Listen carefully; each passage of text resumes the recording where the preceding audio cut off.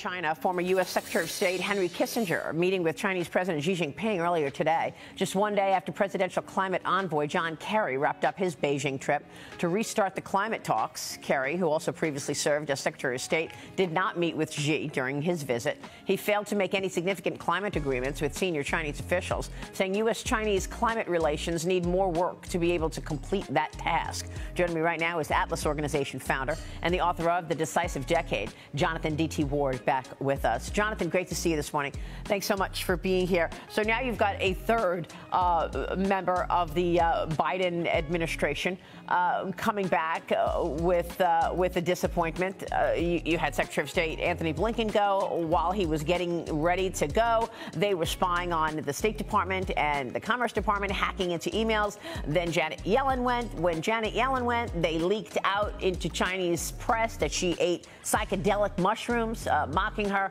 Uh, she's over there bowing uh, to her counterpart. And then, of course, John Kerry uh, uh, coming out. And as even before he leaves Beijing, uh, the CCP says, we will do our own work on the climate and we're not going to be influenced by others. Jonathan, your reaction.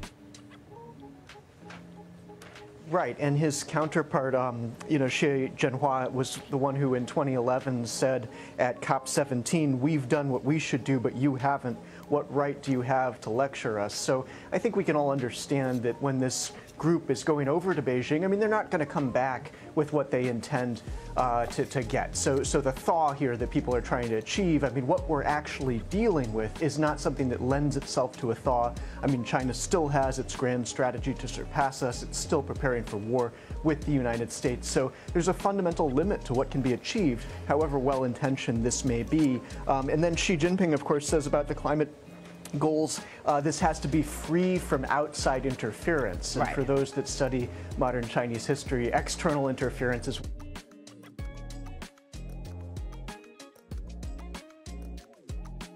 Please join the conversation. Put your comments and suggestions below in the comment section. Thank you for subscribing to this news channel. You will be notified of any breaking news and new post as you become part and parcel of the Mekadd TV family. Please like and share Mekadd TV. We love you all. Please support Mekadd TV Foundation by joining membership and visiting Amazon UK to purchase the displayed books to aid our orphanage projects across Africa.